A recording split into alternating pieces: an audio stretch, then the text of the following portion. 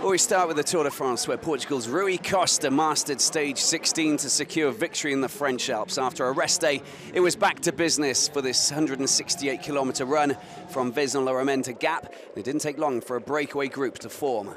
40 kilometres in, a group of 25 riders snapped off the peloton. Amongst those escapees was the owner of the green jersey, Peter Sagan, who didn't have the legs to stay with the front runners. Sky's Welsh rider Geraint Thomas, still riding with a fractured pelvis, was marshalling the pack, who were more than seven minutes behind the breakaway group.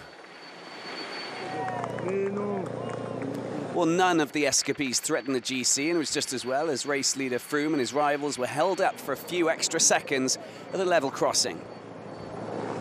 With 36 kilometres remaining, a new record was broken in this year's edition as the breakaways boasted a 10-minute lead over the yellow jersey group then halfway up the Col de Manse, a second category climb, Rui Costa decided to rip away from his rivals in the breakaway group. Second place, Alberto Contador was also getting itchy feet, but the Spaniard was being shadowed by Froome each time he decided to try and make an exit. Back at the front, Costa was home and dry. The two-time winner of the Tour de Suisse just easing past the finish line in Gap after a fine ride in scorching temperatures. Let's get his reaction. Well, without any doubt, this victory is one of the most eh, important ones for me. It is one of my happiest days, and even more in this stage, which is very important. I've been waiting for this for a very long time. Two stage victories in the Tour de France makes me feel very happy, and also for the team it's important. Christophe Riblon, Arnaud Jeannesson and Jerome Coppel gave the French public something to shout about as they crossed the line just seconds after Costa. Back in the descent, Contador nearly went down a ravine, taking Froome with him on a tight bend. They escaped unscathed, but it was a hairy moment for the two front runners in the GC.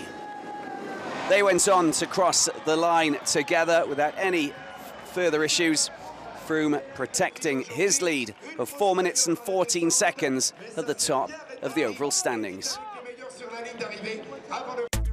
So that's uh, how it looks like after stage 16 that finished in Gap. Costa taking that wonderful victory, second uh, win on the Tour de France. And Riblon, the Frenchman, second, 42 seconds behind. Jeannesson Coppel and Andreas Kloden, all finishing at the same time with Dumoulin, another Frenchman, back in sixth. At the top of the standings, well, no change. Froome there with uh, uh, just uh, pedaling past the line with Contador. Mollema well, he's in second position with uh, 4 minutes 14 behind Froome. Kreuziger, another Saxo Tinkoff rider, still in fourth.